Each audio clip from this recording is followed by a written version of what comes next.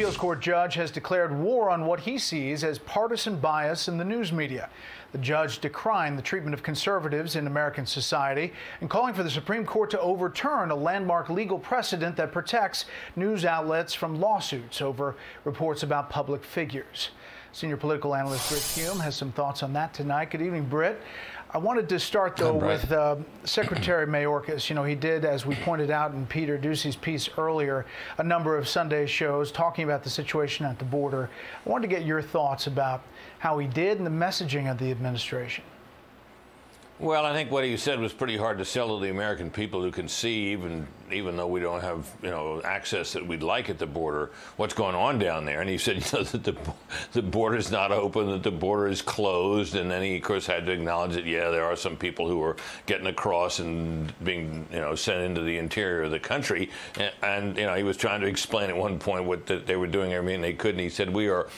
Um, I've forgotten the word he used you're talking about their processes. Uh, that we that we are putting putting our processes in place. Well, what does that mean? Um, so it was, you know, it was. I thought it was a pretty unconvincing performance, at least to anybody with eyes.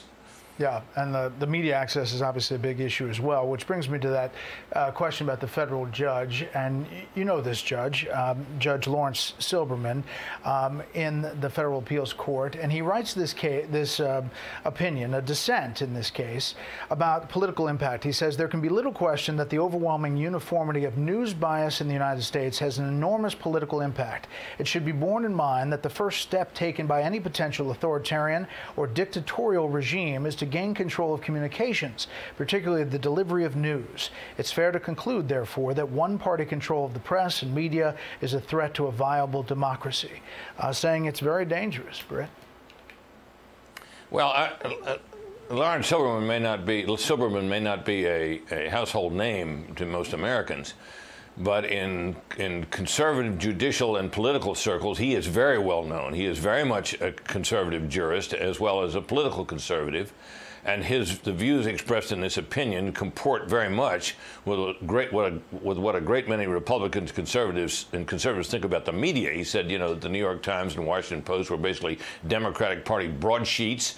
Uh, he described the networks as basic trumpets for the Democratic Party. A lot of people agree with that, and the, re the reason this was fitted into this uh, dissenting opinion was that it was on whether the uh, precedent under which journalists who report on public figures are almost immune from libel suits uh, should be continued or whether it should be undone. He argued it should be undone because the last thing we need, he argued, is uh, to have even more power, as much power as we now have, in the hands of a monolithic media.